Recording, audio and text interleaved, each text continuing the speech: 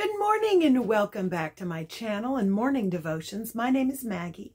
If this is your first time stopping by, I hope you decide to like and subscribe and click the notification bell and then come back and check out some of the other content I have on my channel.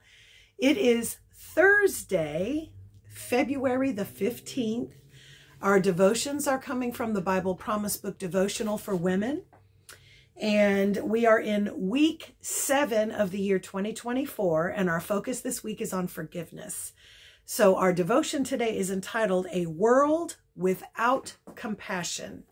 Our scripture comes from the book of Ephesians, chapter 4, verse 32, 432, um, out of the NIV, New International Version, and it reads Be kind and compassionate to one another forgiving each other just as in Christ God forgave you. Let's get into this. Imagine a world without forgiveness. The ancient feud between the Hatfields and the McCoys seems tame by comparison. Wars would be the norm, not the exception. Everyone would push for a vendetta against others. There would be no kindness. There would be no compassion there would be no trust. In this alternate world, you would exist without empathy for others, without meaningful relationships, and without hope for something better tomorrow. Wow, that paints a very grim picture for sure. Followed to its natural conclusion, payback would be required for every offense, hatred for every slight, and revenge for each infraction. Yet there's a wise God who instructed you to do something unnatural. Forgive. This forgiveness is to be marked by kindness, compassion, and relationship. This forgiveness gives the world hope, urges peace, and inspires friendship. Your motivation for offering the gift of forgiveness to others is your gratitude for the gift of forgiveness you've received from your great God. People who forgive tend to be the ones who remember most you remember most fondly. Why? Because they care about you. That compassion shows up in their willingness to follow God's example. Forgive when forgiveness is needed. Show compassion when help's needed. And offer kindness when friendship's simply a dream.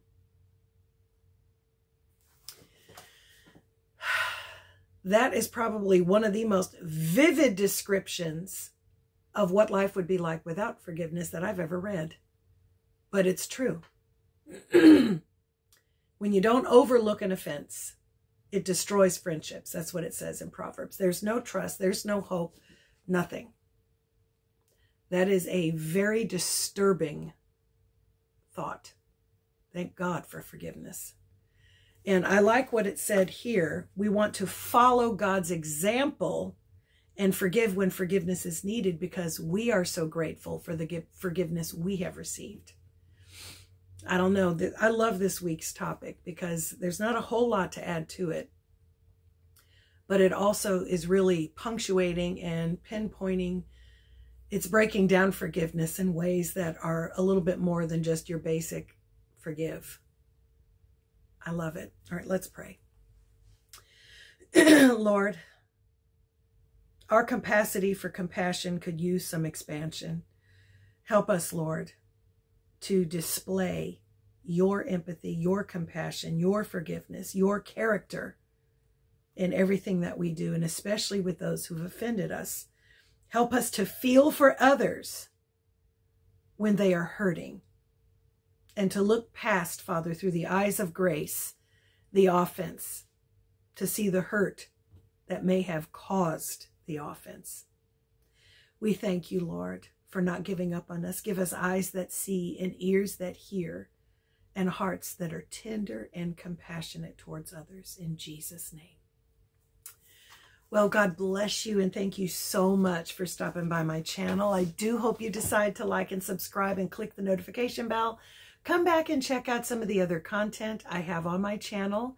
A great big happy birthday to my sister-in-law, Angie. I hope you have a great birthday. And yesterday was my husband's Uncle Rocky and my other sister-in-law, Shelly's birthday. So God bless you guys. I hope you've had a wonderful time and you guys have a great Thursday. God bless you and bye until next time.